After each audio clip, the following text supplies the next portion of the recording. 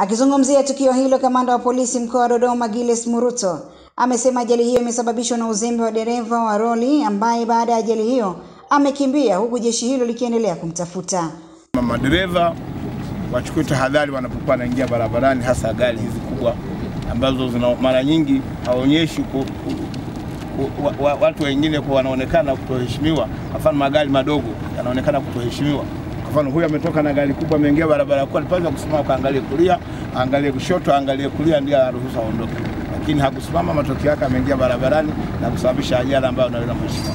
Naye mkuu wa mkoa huo Dr. Bilnith Mahenge ametembelea eneo hilo na kuliagiza jeshi la polisi na wakuu wa wilaya kuhakikisha wanaendelea kuchukua tahadhari ikiwemo kutoruhusu magari makubwa kuegeshwa kando ya barabara. Madereva wajue kwamba wanabeba roho za watu, kwa hiyo wanatakiwa kuwa waangalifu na wajue kwamba wanaendesha vyombo ambavyo vinamtegemea yeye kukipeleka kokote ambako chombo kitakwenda kwa sababu ya mkono wake yeye.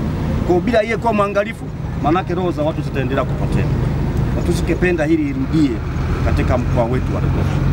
La pili, Mheshimiwa mkuu wa wilaya, kamanda wa polisi wa mkoa, tulikubaliana kwenye vikao vyetu vya ushauri wa mkoa kwamba maeneo ya Chalinze Nyama, maeneo ya Kibaigwa, maeneo ya kule Bahi yote yasiwe ni sehemu za kupaki maroli pale mjini. Hata ukija sasa hivi tumeona pale Kibaigwa kulia na kushoto kuna magari, ukienda Chalinze kulia na kushoto kuna magari. Matokeo yake ni kwamba pale katikati panakuwa finyo, kwa mtu anayepita usiku anaweza kusababisha ajali. Baadhi ya wananchi ambao walikuwa eneo la tukio wakaeleza jinsi ajali hiyo ilivyotokea.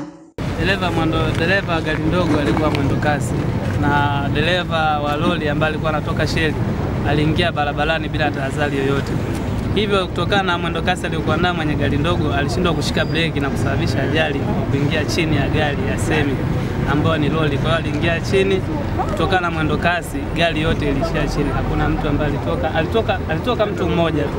Ajali ilitokea asubuhi, gari ilikuwa inatoka, hii kubwa gari kubwa ilikuwa inatoka kwenda Dar es Salaam, gari ndogo ilikuwa inatoka mashariki kwenda magharibi. Baadaye gari ndogo tumesikia mshikishindo tu barabarani, kishindo kikubwa.